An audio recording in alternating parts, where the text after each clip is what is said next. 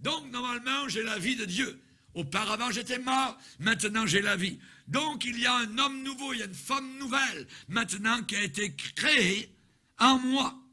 Et quand je suis né de nouveau par le Saint-Esprit, selon ce que Jésus a enseigné à Nicodème, en disant si quelqu'un n'est pas né une deuxième fois, il ne peut pas entrer dans le ciel. Et lorsque ce miracle donc en nous, nous devrions être différents d'avant. Il y a un avant et il y a un après lorsque nous sommes sauvés. S'il n'y a ni avant ni après, il est fort possible que je ne sois pas sauvé. Et cet homme nouveau, donc cet homme spirituel, eh bien, a vraiment pris naissance en nous par le Saint-Esprit. Par le Saint-Esprit. Et notre cœur maintenant est capable de battre, je dirais, euh, pour le Seigneur, de nous réjouir, ce salut si merveilleux, d'une joie ineffable et glorieuse, parce que nous avons quelque chose que nous n'avions pas auparavant. Et cela prouve évidemment notre salut l'homme naturel, l'homme psychique, l'homme psychologique, eh bien, l'homme naturel est totalement indifférent aux choses de Dieu. Il, ça ne lui dit absolument rien, il n'est pas intéressé, il est égocentrique.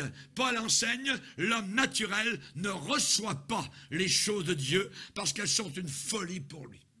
Et on reconnaît évidemment le plan du seul de Dieu pour nous. On reconnaît son amour dans notre vie. On voit et on entend ce que nous n'avions pas compris auparavant. On ne comprenait pas cela du tout auparavant. Et on discerne même les événements de notre siècle, les événements de notre temps. Nous voyons exactement cela corrobore, cela appuie, cela s'emboîte directement dans les prophéties de la Bible par rapport donc à la fin des temps. Donc nous comprenons cela. Les païens ne comprennent pas, comme la génération de Noé n'a rien compris. Ils se doutèrent de rien, ils n'ont rien vu, ils ont été avertis. Noé a prêché, mais rien n'y a fait. Le déluge donc est venu. Jésus a dit, il en sera exactement donc la même chose à la fin des temps. Et Pierre le dit, vous au contraire, vous êtes une race élue. Vous qui autrefois étiez ceci et qui maintenant êtes cela. Donc, on a changé. On a changé.